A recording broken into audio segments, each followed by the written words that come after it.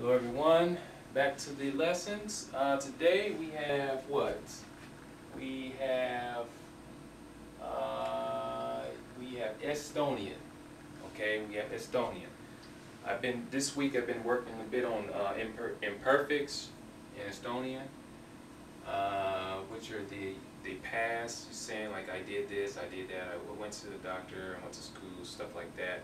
I've Been working on those, so I figured that uh, while I'm, while I am learning, why not make a video? You know, why not make a video and share my knowledge with you guys? Or those of you who are interested in learning Estonian, okay? So I've been working on the, imperf the imperfects, okay?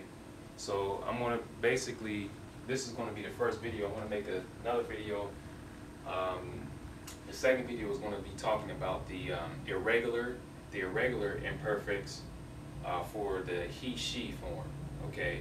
So let's just go over here, let's just go over the basic imperfects. So here I've listed all the personal pronouns. We have ma, me, sa. We have ma, me, sa, you for, um, that will be for plural. Uh, no, no, no, that's for singular. Sa is for singular. So sa, ta for he or she, te, you for plural, me, us or we, not for them or they. Okay? And basically this here scene, the scene, um, the uh, for the imperfect is basically si. Okay, it's si. You're to put si.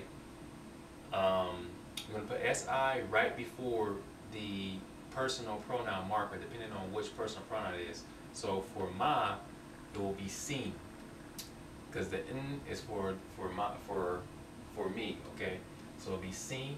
So seen for ma, seed for sa, and just a s for ta, site for te, me for si me, and seed for nad. Okay. So um, here I have I have an example here. Ma käisin aratsi juures. Ma käisin arats arasti juures. And that's that means I went to the doctors. I went to the doctors. I went, went to the doctors, okay? And as you see, käisin, seen here, because K, käisin, I went, okay? So, um, let's take a look at the second one. So let's just, um, let's take käisin and put it with the uh, past, with the other form. So casing for sa will become will become K seed. Okay? It will become K seed. And ta with this S, it would just be case. Just case. He or she went. Te, site will be K, C, te. K, C, te okay? And for C-man will be K C-man. Alright? And for not, K seed.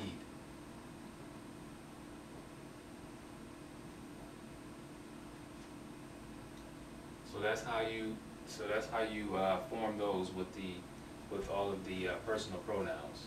Okay. So these are all imperfects.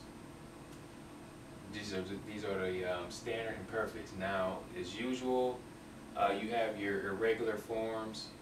They have they have an irregular form. They have irregular forms for the he she, for the he she forms. Okay. And uh, I could. I think I have enough. Yeah. So these are all the um, these are all the uh, imperfects for the, all the personal pronouns ma, sa, ta, te, me, nad. Okay, and essentially it's just si, depending on what personal what personal pronoun it is. Instead, of, uh, except for the uh, he, she, that's just going to take an s.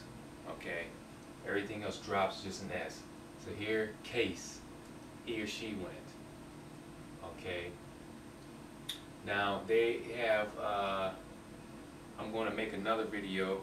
I, I mean, it seems I have enough time to do it now, but I'm just gonna go ahead and start the video over, just in case I start talking about it. Just because I use a lot more time to talk about, to explain, um, certain parts of the, uh, grammar. But, uh, yeah, they're, in, they're irregular forms for the he and she, okay, but it all depends on what, um, the ending of the word. I will show you guys that in the next video, okay? So these are the past tense, the imperfects for these personal pronouns, okay? So those of you who are studying uh, Estonian, now you understand these are the, these are the uh, imperfects. And I would recommend make sentences, make uh, basic sentences, uh, just to get practice with these, with all the uh, personal pronouns, okay? So, uh, once you master those, then you move on. That's, that's what I do. I work on it for a week. So, I've been working on, I've been working on these imperfects for uh, pretty much during the week, this week. So, uh, trying to get used to everything because they have a lot of irregulars. And um, that's interesting, it's fun, it's the fun part, is the irregulars. You have to, you know, become accustomed to those irregular forms and remember how they um, how they change according to the to the uh, personal pronoun. So pretty difficult, but fun at the same time. All right, well uh, that's pretty much it for this part. Um, yeah, that's pretty much it. So I'm going to make the second part of the video and talk about the irregular forms of the uh, imperfects. Okay.